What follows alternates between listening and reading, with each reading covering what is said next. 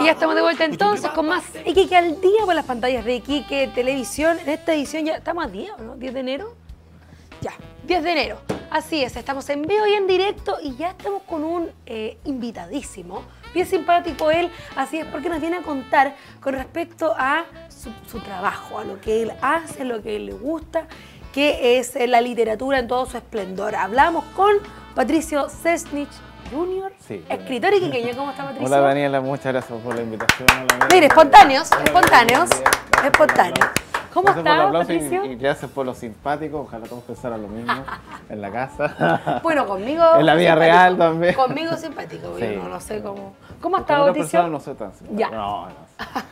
¿Cómo Me estamos? tienen que conocer para eso. Sí, pues. Bien, bien, ¿Bien? bien. sí, Oye, sí, te bien. vemos aquí, con, no sé si podemos, para que le hagan Sí. un, un close-up los niños ahí a tu, a tu ¿Dónde libro. ahí? Esos pequeños Esos gestos. pequeños gestos, a ver, cuéntanos un poquito con respecto a esta, a tu nueva creación.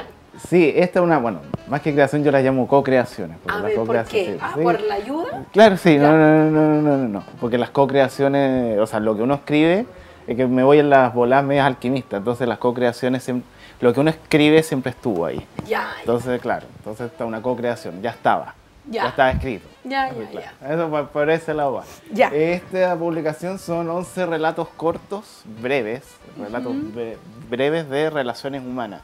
Entiéndase de amistad, problemas con los amigos, problemas con la familia, Ya. eh, problemas, el- problemas comunicacionales entre los seres humanos. Que se dan en el- que en el se dan en, el- cotidiano, en ¿no? lo cotidiano. O sea, ese, eso de que no me estás hablando, no me estás entendiendo, no te escucho, no me estás escuchando. Eso-.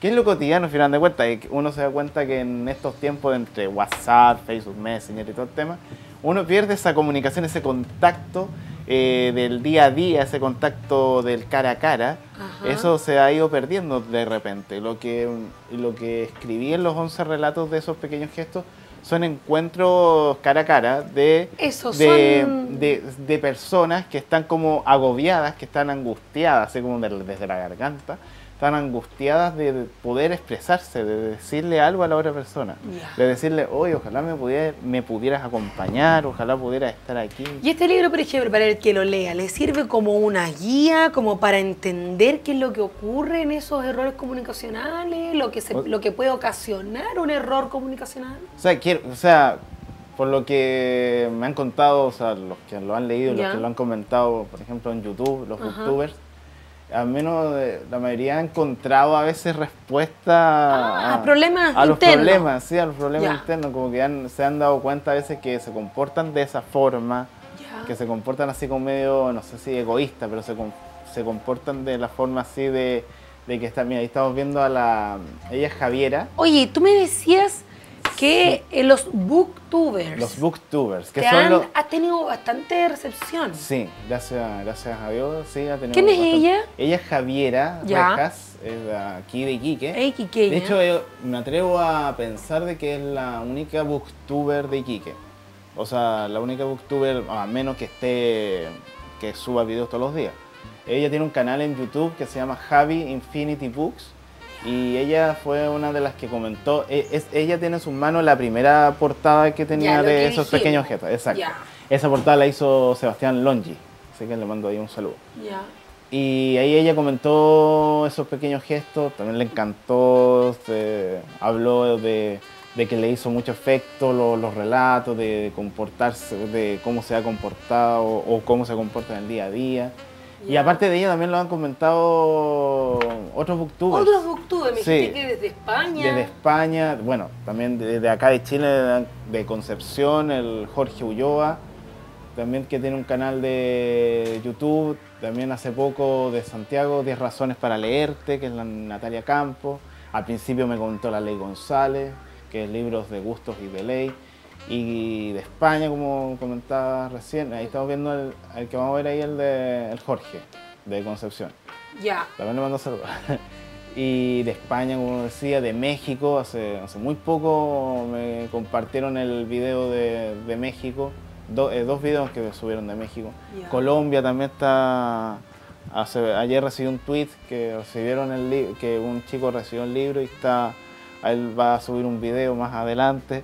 Eh, eh, al menos eh, se ha dado en el plano literario se ha dado todo para que los quienes hay- quienes recibieron el libro, los booktubers, les haya gustado. Oye, ¿y eso? ¿Y qué, qué proyectas con este libro? ¿Qué, qué es lo que quieres? Yo siento que esos pequeños gestos todavía tienen vuelo. O sea, no, no voy a decir, ah, mañana, a partir de mañana dejo de... No, o O sea... sea, ¿se le puede seguir sacando más? sí, le puedo seguir Ya. sacando provecho a esos pequeños gestos. Y quiero dedicarme al menos este año y parte del próximo a empezar a escribir la producir. historia, empezar a escribir nuevas historias. Oye, ¿cuánto te demoráis? Por ejemplo, ¿Cuánto te demoraste, por ejemplo, en hacer el en pequeño? este libro, cuatro años. Cuatro años. Cuatro años, escribiendo los relatos. Ahí estamos viendo entre letras. Ella es Anoni, que es de. México. Fue una odisea mandarle el libro. ¿Y cómo le lo- eso? ¿Cómo, le, ¿Cómo ella se entera? ¿Ella te sigue a ti por las redes sociales? ¿Ella se En entera realidad de yo, eh, como es autopublicación, regularmente, claro, o sea, cuando uno tiene editoriales, uno dice ya le- la editorial se encarga se chao, lo manda. toma, te claro. entrégame la pega, Exacto. pero tú te haces Pero como es autopublicación, yo autogestiono, claro, yo autogestioné el tema de la, La de- de entrega la el contactar a los booktubers y decirle, oye, ahí que tengo un libro, ¿te interesa? Tenemos un video, no te preocupes, ahí nos encargamos. así. Ya. Entonces, mm, ahora, como digo yo, proyecto todavía tiene vuelo esos pequeños gestos. De hecho, está aquí en la librería, está en la Golden Book del Mall Plaza y también está en otros puntos. Está en Santiago, está en la Queleo de las Condes, Ya, sí. está en la, mm, en la librería El Laberinto, que queda en Vitacura, Ya, sí. eh, está en la Queleo de Arica, está en la Queleo de Concepción. Ah, o sea, tienes hartos puntos. Sí, hay puntos, hay puntos de venta. Bueno, y también pueden contactarse así conmigo también para, por si que lo quieren. Pero Oye, la otra vez te vi, estábamos Está en, en una Natalia. universidad, estábamos como en un, en un club, ¿no? Que Sí. se hizo con eh, poetas, un café- un café escritores. literario. Un café literario. Sí. Eh, y habían hartos niños, habían hartos estudiantes de la universidad que, que estaban bastante interesados. ¿Cómo ves tú el, esto del panorama literario en los chicos, en los jóvenes? Yo lo veo de forma positiva porque, a ver, lo que pasó esa vez en, el, en ese café literario es que estaban todos escuchando atentamente y cuando uno decía, ¿quieren hacer preguntas? No las hacían. Entonces, después, después, del, después de esa actividad, se me acercaron a preguntar. Claro. Entonces, a veces por timidez, o, o sea, es timidez, por timidez, eh, la gente no se acerca mucho a preguntar por libros Pero- porque eso, ay, te van a encontrar, ¿qué van a decir? Pero se refugia harto en escribir. Sí, sí. Es, que, es que al final de cuentas escribir y los libros es una forma de, no sé, de evadir, pero es como entrar a un mundo distinto y Donde creas personajes. donde creas personajes y donde, y donde encuentras respuestas y donde Eso. te sientes ayudado, te sientes escuchado, acompañado, leído. Sí. Sí, entonces yo veo que hay motivación en los jóvenes, hay Ay, motivación en las ¿Y qué, personas. qué faltaría, tú, por ejemplo, para que, a ver, porque para que se amplíe este panorama de escritores? Porque conocemos a un par de poetas, yo te conozco a ti como escritor, pero tampoco uno es como para que diga, ay, 800 escritores. Es que yo creo que los jóvenes que escriben primero tienen que mostrar lo que están escribiendo. Y hay Ahora, hay, instancia- hay instancias. Está, ¿Hay instancias? Está Wattpad, ese sistema para poder subir capítulos. Acá en Iquique hay otro escritor más joven que se llama Diego Mánquez, por ejemplo. Pero, por ejemplo, ¿la gente entiende que hay algo online o le gusta más, la gente es más de ir? Ir a la feria, ir al...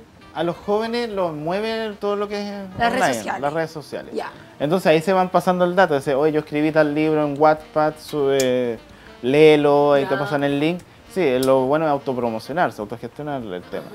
Pero mm, yo creo que para que haya más eh, difusión tiene que hacerse más conocido, o sea, más eh, compartir más el link y mostrar lo que está escribiendo, porque a veces por temor uno no lo, uno no lo Cada- muestra. ay, se reirán de lo que Claro, se reirán, ¿qué dirán de mí? La Quitarse inseguridad. la inseguridad, quitarse esa inseguridad. Oye, Patricio, eh, Bueno. ya mira, nos queda súper poquito tiempo, pero a ver, la- si puedes echar una ojeadita al libro, mira, hay unas ilustraciones bien bonitas. Me dijiste Sí. que esas ilustraciones, ¿con quién? La- bueno, el diseño de portada, el diseño de portada y, y de diagramación lo hizo Carolina Varela, que ella se encarga también de otra, en otras, en otras editoriales en Santiago como editorial Triada. Y las ilustraciones la hizo Ignacio Irigoyen, que un ilustrador, valga la redundancia, un diseñador gráfico de, que está en Santiago.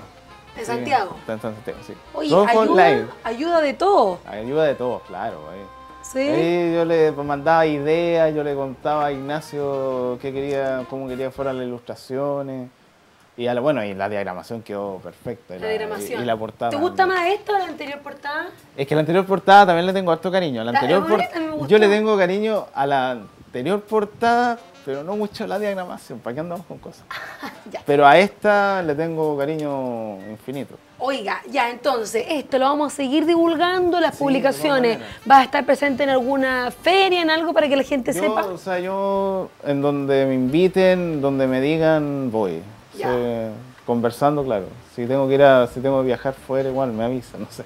Ya. Sí. Ah, ya tienen. Sí, bien abierto. ya, bien Oye, ¿y dónde le encontramos entonces esos pequeños gestos? Aquí en Iquique, en la librería Golden Book de Mall Muéstrale Plaza. a su cámara. Ahí. En la librería Golden Book de Mall Plaza.